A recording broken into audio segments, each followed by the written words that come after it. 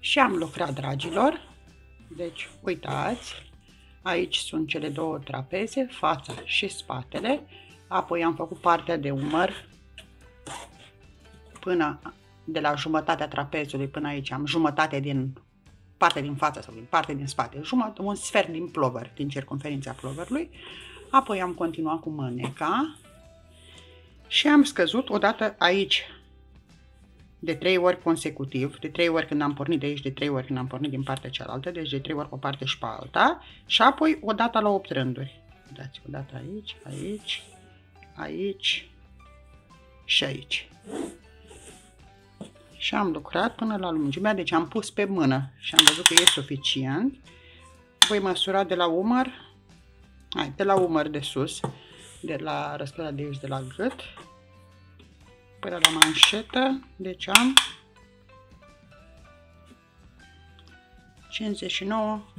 59-60 de centimetri. Iar lungimea mânecii de la sub braț, haideți să măsor și de aici. Deci de aici de unde am început mâneca,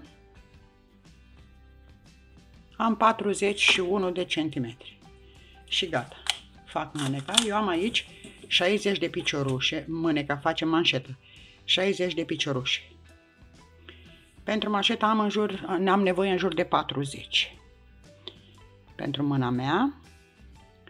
Și voi proceda în felul următor. 1, 2, 3. Piciorușe luate prin față și luate prin spate. Deci asta e un prim picioruș dublu. Acum, prin față, dar iau două dată.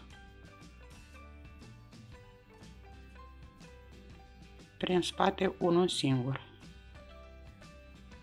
Și voi avea vreo 36-38 de piciorușe la final.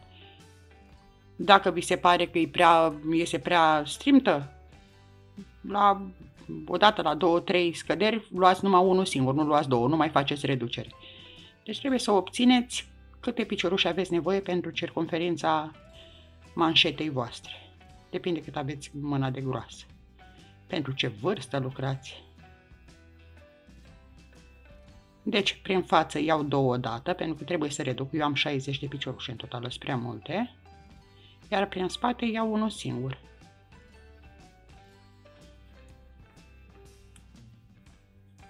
Și am zis, dacă vi se pare că rămân prea puține piciorușe, mai luați și unul singur așa. Nu-i bătut în cuie, important e cât, uh, câte piciorușe vă ies la o manșetă să vă iasă și la cealaltă. Acesta e singur aspect. Să vă iasă o manșetă mai largă și una mai simplă. Deci luat pe dedesubt prin spate, vom face tipul de elastic croșetat. Unul pe față, unul pe dos. Piciorușe duble și luate pe dedesubt.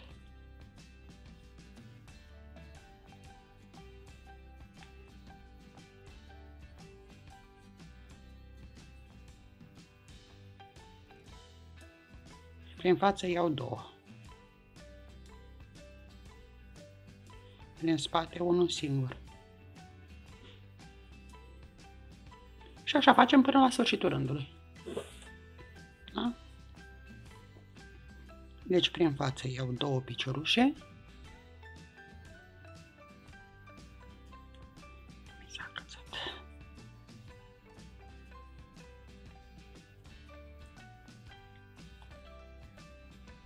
spate unul singur.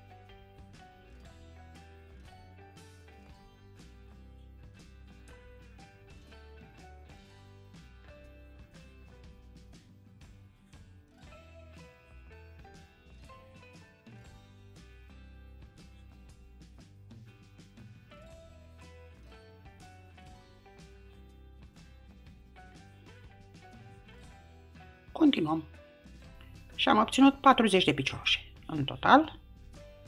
Acum, pentru 6, 8, 10 rânduri, depinde cât de lată vă doriți manșeta, e simplu. Piciorușul care este evidențiat îl luăm pe dedesubt prin față, care e evidențiat pe fața noastră, spre noi. Uite, celălalt se vede că e spre în spate. Deci dăm după coșetă și îl luăm pe dedesubt în spate. Aici e în față, îl luăm pe dedesubt prin față. Și așa facem, depinde cât de lată o dorim. Și asta e tot la partea aceasta. Și am lucrat, dragii mei, am lucrat și manșeta. Haideți să vă spun câți centimetri are manșeta, cât am făcut eu. De 7 cm. Aici, facultativ, fiecare face cât dorește.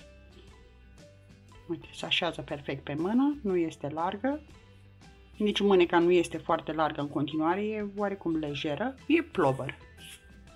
Și acum continuăm să facem în partea asta exact la fel. Din bobina următoare, exact unde am rămas, luăm firul și încercăm să potrivim culorile, să fim atenți la culori, să potrivească perfect cum a fost pe partea asta, să fie și pe partea cealaltă. De aceea, din două bobine, am ales felul acesta de a lucra cloverul. Pornim din partea asta, la fel, facem ochiuri de lanț aici la umăr, exact atâtea ochiuri câte am făcut și în partea asta, numărăm piciorușele să ne iasă exact la fel. Da? Este important pentru o reușită sigură. Și facem și partea asta altă exact ca și imaginea în oglindă. Exact cum am făcut aici, așa facem și pe partea asta. Și astfel suntem gata. Suntem gata aproximativ cu partea de corp. Ne vom ocupa de răscroială la, la final. Și am terminat ambele mâneci.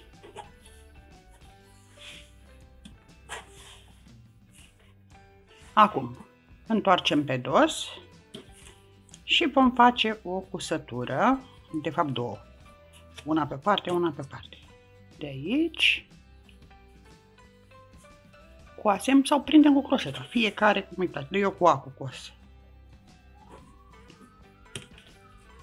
La final vom face bentița jos, o bentiță asemănătoare cu cea de la manșete și la final ne vom ocupa de răscroiala de la gât.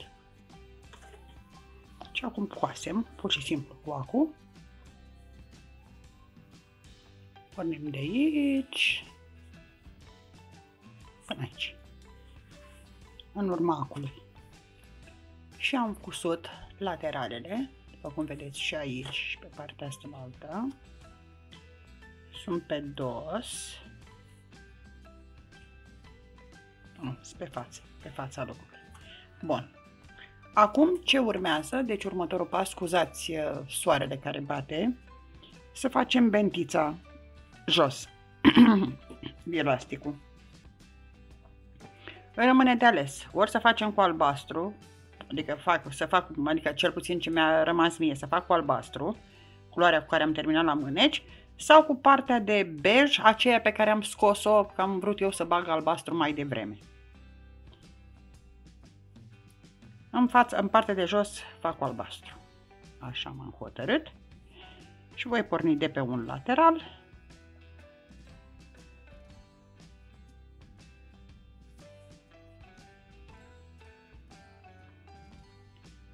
și voi face un prim rând de piciorușe duble, bineînțeles, deci elastic la fel ca și la, exact la fel.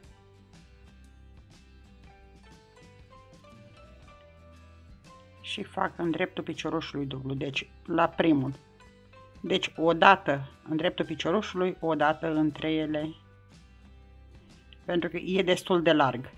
Aici rămâne, depinde pentru ce mărime lucrați. Luați plovărașul pe voi și vedeți dacă este prea larg, trebuie să-l mai strângeți un pic, nu? Și atunci nu fac câte două piciorușe în dreptul fiecăruia, cum am făcut pe lateral aici, ci fac o dată într-unul, o dată între ele, o dată, pentru că eu vreau să strâng un pic, pentru că mie mi-este larg. O dată între, practic e 2-1, 2-1, e tot aia pe sub picioruș, între piciorușe. Și așa fac până la sfârșitul rândului și apoi iau un picioruș prin față, un picioruș prin spate, făcut elasticul exact aici. Dacă a strâns prea mult, desfăcut și făcut mai uh, des. N-avem ce face, pe încercate, pentru că nici eu nu știu exact. Eu cred că o să vină bine așa, adică va fi suficient pentru mine. Nu era mare lucru dacă facem două, trei rânduri și mi se pare că s-a strâns prea mult să le desfacem. Putem proba. Și gata, dragii mei, am făcut și partea de bentiță. Vedeți că după ce am făcut două, trei rânduri, am mai redus pe aici pe acolo. Am văzut că este destul de lejer și n-am vrut, am vrut să stea pe exact pe lângă corp. Da? Vedeți că se și vede pe unde am mai redus. Uite, 1, 2, 3, 4, 5, ia să văd și pe partea asta altă, 5, 6 aici, 6 piciorușe. Aici e pe încercate. Iar la gât am făcut exact la fel. Am luat piciorușe o dată lângă el, o dată am sărit unul. Da, vedeți că e sărit un picioruș. Deci odată imediat lângă, am încercat din două în două și ieșea prea rar. Din unul în unul ar fi ieșit, dar cred că ar fi ieșit bine. Ieșea puțin mai decoltat, că avea spațiu, dar se așează perfect, după cum ați observat. Mie îmi place tare, tare mult ce a ieșit. Eu sper să vă placă și vouă. Și firul acesta, Alpaca Flower, arată fabulos. Iar uh, cu trapezul de pe mijloc, eu zic că e o idee faină, puteți să folosiți și alt ideea cu alt model. Da? Nu neapărat exact pe acesta pe care l-am făcut eu. Asta eu vă mulțumesc din tot sufletelul că ați fost alături de mine. Sper să văd cât mai multe ploverașe, pornind de la ideea mea, m-aș bucura tare, tare mult. Vă pup și vă îmbrățișez cu tot dragul din lume. La revedere, vă pup!